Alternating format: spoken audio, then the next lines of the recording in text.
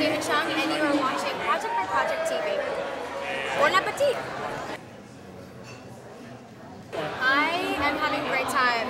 I think there's nothing better than bringing a community together with great food, great wine, great company.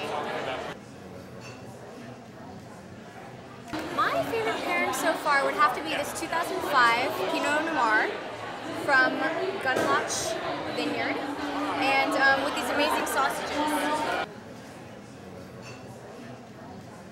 The great thing about Project by Project, I like the idea of not just helping one organization, but by helping a new one every year.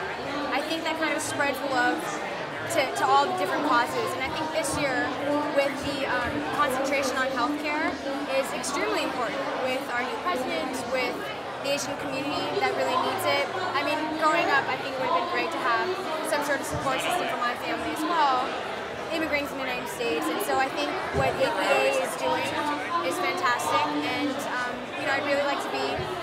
part of more project by project